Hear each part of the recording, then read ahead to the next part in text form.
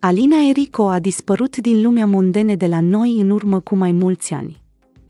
Pantera Neagră a povestit că avea un job normal și avea noroc și cu iubitul de atunci. Asta pentru că și el avea stabilitate financiară și erau fericiți împreună. Înainte făceam mii de euro pe Facebook. Nu mi-a fost niciodată rușine să recunosc. Nerecă stătea cu chirie și că nu avea o situație financiară tocmai bună.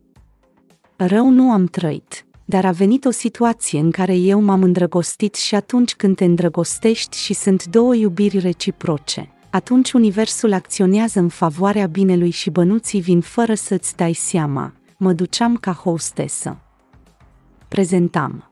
În toată această perioadă în care a dispărut, familia a încercat să dea de Alina Erico și să o convingă să se întoarcă în România, mai ales că are și doi copii, un băiat și o fată.